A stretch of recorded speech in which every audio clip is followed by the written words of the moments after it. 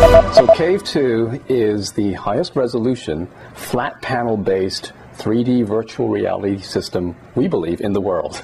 So the components of the cave are 72 3D passive stereoscopic uh, LCD panels that are arranged in a 320 degree uh, shape so that you can step in the center and you receive a fully panoramic view. Uh, there is a, uh, a set of glasses that you wear with little tracking dots on them so that the computer can determine using cameras where you are looking at in the space uh, so that it can repaint the images to fit your particular perspective. And to interact with the environment, you have something called a wand. A wand basically also has these uh, trackers on them so that the computer can figure out what you are pointing at in the space so that you can interact with three dimensional objects in their native space.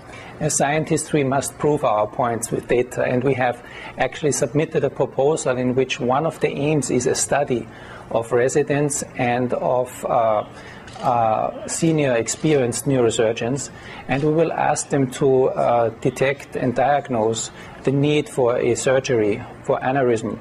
And we will ask them to do that with traditional methods, with computer screens and menus, and with the full immersion in the cave. To do science in this kind of environment is absolutely amazing. And this is a, an observatory for looking at science, and you can just stare at science all day.